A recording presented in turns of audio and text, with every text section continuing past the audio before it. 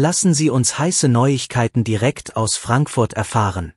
Aber abonnieren Sie zuerst unseren Kanal. Heute endete ein einfacher Besuch im Freibad im Chaos, da dort ein großer Polizeieinsatz stattfand.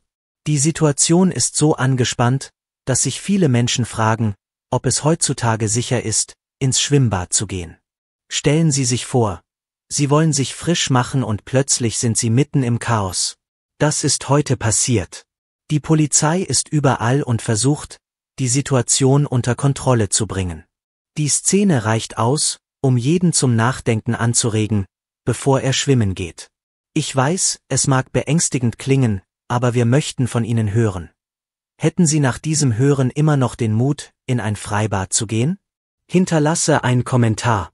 Wenn wir solche Bilder sehen, ist es normal, dass wir uns unwohl und besorgt fühlen. Bleiben wir also wachsam und passen wir aufeinander auf. Kürzlich habe ich Fotos gesehen, auf denen die Becken voll sind und wie Sardinenbüchsen aussehen. Das ist so besorgniserregend, dass wir jetzt darüber reden müssen. Es scheint, als ob unsere Regierung nicht glaubt, was passiert, aber es ist real und muss diskutiert werden. In einigen Teilen unseres Landes ist die Situation außer Kontrolle und die Migrationspolitik versagt kläglich. Machen wir uns nichts vor. Es sind nicht die einfachen Leute, die Probleme verursachen, sondern laut Polizei und Statistik sind es häufig Menschen mit Migrationshintergrund. Wir sagen nicht, dass sie alle problematisch sind, aber es ist wichtig, die Daten zu verstehen und zu sehen, was wirklich passiert. Schauen wir uns diesen Vorfall also genauer an. Zensierte Videos zeigen, wie Migranten Menschen in einem Freibad angreifen und belästigen. Aus diesem Grund müssen sich Besucher nun einer Identitätskontrolle unterziehen und ihre Taschen durchsuchen lassen, was ziemlich demütigend ist. Dies geschah am 17. Juli 2023 und es ist eine traurige Entwicklung. Vielleicht haben Sie schon einmal von so etwas gehört oder es sogar erlebt. Ich habe gehört, dass manche Menschen ihre Taschen komplett leeren mussten, was besonders für Frauen sehr unangenehm sein kann. Es ist frustrierend, weil jeder wie ein Verdächtiger behandelt wird, weil manche Leute nicht wissen, wie sie sich verhalten sollen. Vor sieben Jahren warnten Alice Weidel und die AfD vor solchen Situationen und wurden dafür belächelt. Jetzt sehen wir, dass sie recht hatten, auch wenn einige das Problem immer noch verharmlosen wollen und sagen, dass es sich nur um Einzelfälle handele. Ich kenne viele ausländische Freunde, die ihr Leben normal führen, und wir sind gute Freunde. Zu sagen, dass wir verallgemeinern, ist also die erste Fake News. Was mich wirklich irritiert, ist, dass dieses Thema ständig ignoriert wird. Die Menschen sind zunehmend besorgt und wenn sie bei Google nach Polizeieinsätzen suchen, werden sie überrascht sein, wie viele Neuigkeiten es dazu gibt. Es ist traurig zu sehen, dass die Mainstream-Medien das Problem herunterspielen und es immer als Einzelfälle behandeln, aber diese Einzelfälle kommen sehr häufig vor. Schauen wir uns an, was in Frankfurt passiert ist. Das Erste, was ich mich fragte, war, wie konnte es sein, dass so viele Frauen angegriffen wurden und niemand, nicht einmal die Rettungsschwimmer, eingriff? Das ist sehr besorgniserregend und verdient unsere Aufmerksamkeit. Lassen Sie uns über einen schweren Fall sprechen, der sich in Sachsen ereignet hat.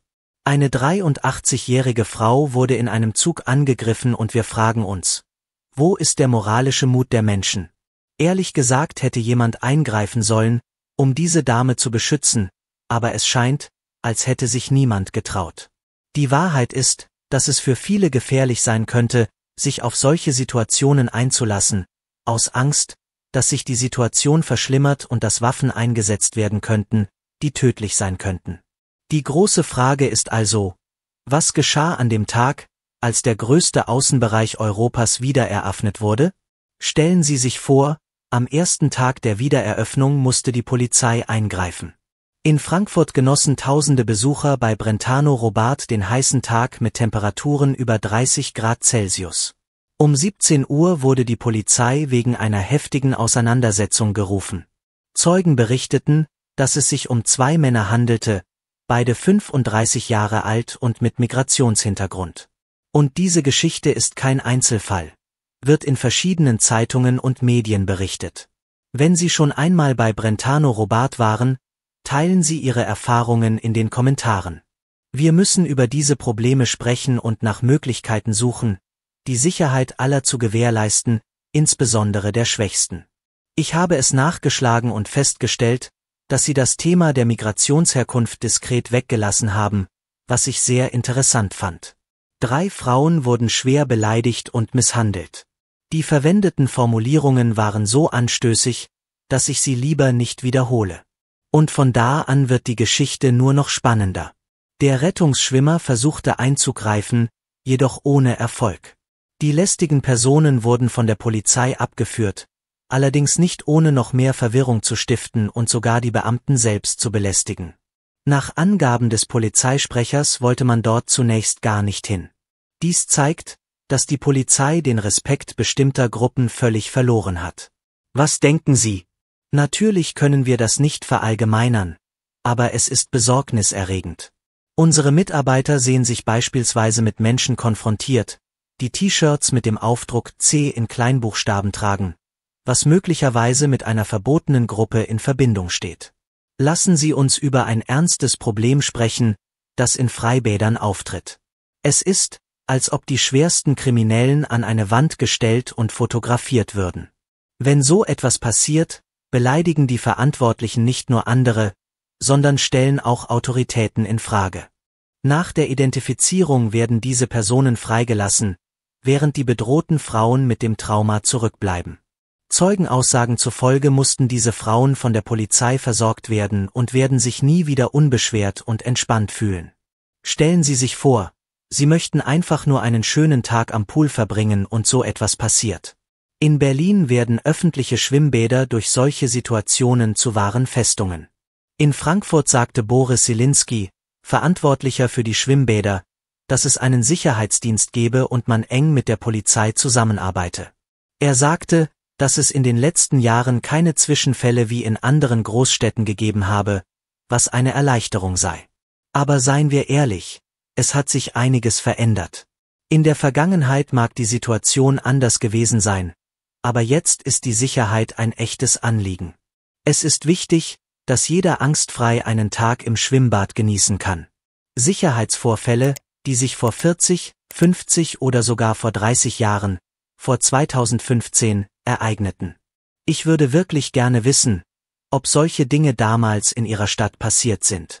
Wir hören oft von linken Gruppen, dass es diese Probleme schon immer gab, aber ich finde es interessant und würde einiges davon gerne als historisches Dokument sehen. Hier ist das Video, Leute. Ich versuche nur herauszufinden, ob daran etwas Wahres dran ist oder ob es Fake News sind. Und jetzt eine wichtige Frage. Haben Sie noch den Mut, in Deutschland auf die Straße zu gehen oder nachts im Park spazieren zu gehen, insbesondere in der Nähe des Münchner Hauptbahnhofs? Ehrlich gesagt ist die Tatsache, dass wir überhaupt darüber nachdenken müssen, besorgniserregend. Also lasst uns diese Probleme bekannt machen, diskutieren und nach Lösungen suchen. Bis zum nächsten Mal.